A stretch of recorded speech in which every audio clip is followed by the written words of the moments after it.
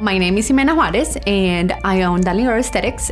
I have so much passion for this because I love making my clients feel good. I'm Jane Simmons and I have a medicinal herb company called Sister Sage. I put a lot of my soul into it and when someone appreciates it, it's just, that's why I'm there. that is exactly why I do it. My name is Abdul Muhammad. I'm the owner and founder of Dooley's Salsa.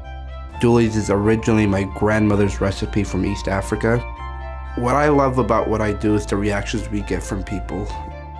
I'm from Bogota, Colombia, and I've been in the United States for 12 years. I served the United States Navy for four years. Once my contract was over, I um, decided to go to aesthetic school. And after that, I wanted to find a job really, really bad. I couldn't. So I said to my husband, let's open a spa. We just didn't know where to start. We really didn't. I had been told I could get into the Pike Place market, and so I was kind of worried like, I can't make enough because I don't have enough money to make enough from what I can grow. I started Dooley's in 2012 and just didn't know what I was doing.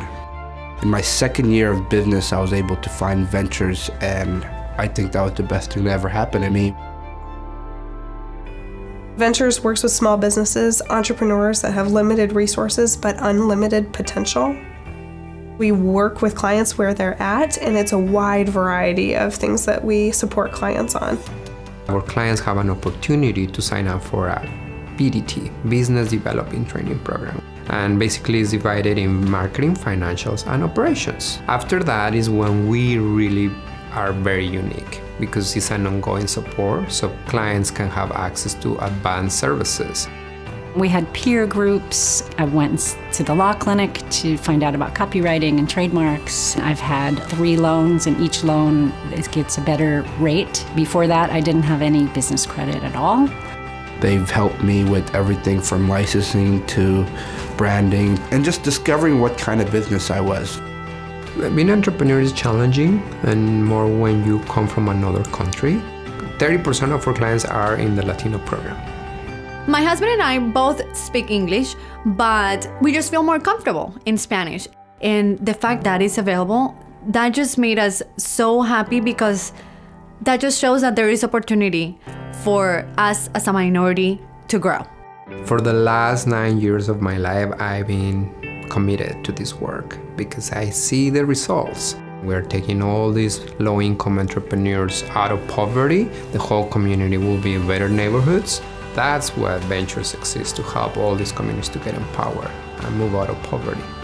Ventures help me, I help my clients, my clients help others. It's all a circle that it just, it goes around. I honestly think it's uh, time and money well invested, and I really hope more people take advantage of the services that Venture has to offer, and especially the Latino community. They give you the confidence to go from just uh, the small one man operation to feeling like you have a team behind you, feeling like you have someone that you can really rely on.